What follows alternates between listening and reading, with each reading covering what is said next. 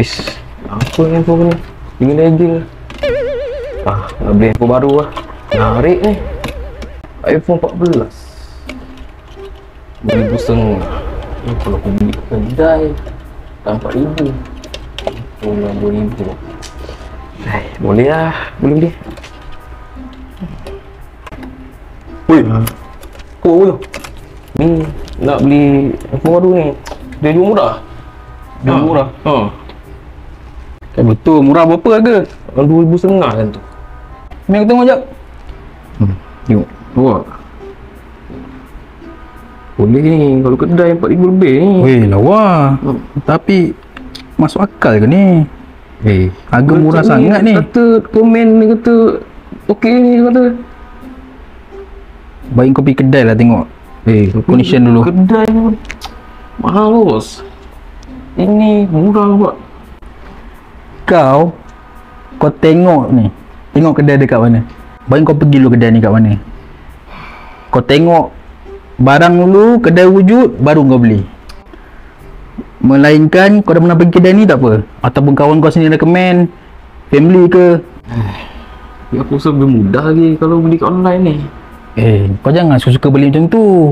Kau kena tahu, sekarang banyak kes kena tipu beli barang online.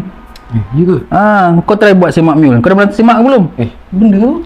Ah, tu lah kau tak ambil tahu. Semak mule ni kemudahan yang PDRM sediakan untuk kita semak nombor akaun dan nombor telefon tu ada report ke tak? Oh, Ah, satu ke? ah, kau kena ambil tahu tu. Dah, kau pergi buat dulu. Kalau kau tak nak kena scam, baik kau buat dulu. Okey lah lah. Aku buat lah. Ah, tengok macam. Ish. Narik rumah ni. Dua tikar, seribu sebulan. Ah, Teracik orang ni.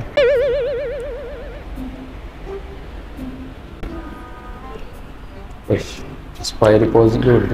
Ish, sebelum tu aku kena tengok rumah dulu. Ah, tradisional.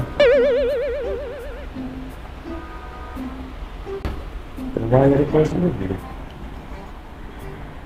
Tapi mau buat tu Ah, bayar lah. Buat apa tu? Eh, bo. Ni kau cari rumah saya bo ni. Rumah sewa? Oh. Narik bo rumah ni bo. Dua tikar, seribu sebulan.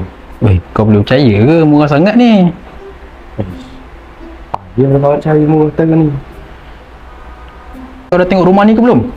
Eh, tak lagi bo. Sebab kau boleh tengok gambar gitu ya. Dia suruh bank deposit dulu. Bank deposit? Eh, jangan bank yang suka. Kena check dulu. Cek mana pun kau ni kau mana tahu. Ha, tolong kau. Jap. Aku tunjuk. Dekat Semak Mule.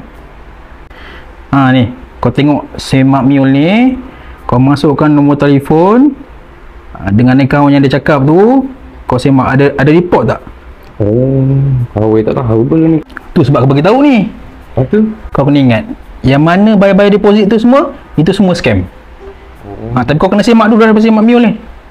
Maknanya kau masuk nombor akaun tu, kalau ada rekod tu mana ada buat report dah tu. Ah betul.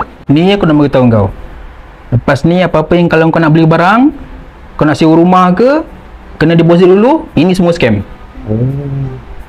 Kau nak sewa rumah, mesti kau pergi tengok rumah dulu. Kau dah confirm memang ada, rumah tu kau puas hati, baru kau bayar deposit. Tu juga. Tapi owner ni duk cek-cek kawan sombong ni suruh bayar. Eh jangan, kau tengok rumah dulu. Ha senang je. Kalau dia minta deposit, baik kau pergi cari rumah lain.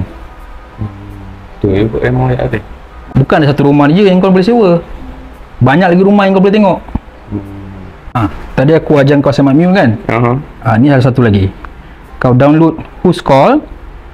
So siapa kalau scammer call kau dia ada kat sini, ada mention scammer. Hmm. Naik noti lah. Ha, ada notification. So mudah untuk kau tahu betul ke tak betul. Biasa orang akan share benda ni. Okey okey okey. Ni kau dah bayar belum tadi rumah tu? Eh beli lagi. Ah, kau jangan bayar. Baik kau pergi tengok rumah lain. Okey okey. Ingat, kalau dia suruh bayar deposit dulu, itu scam.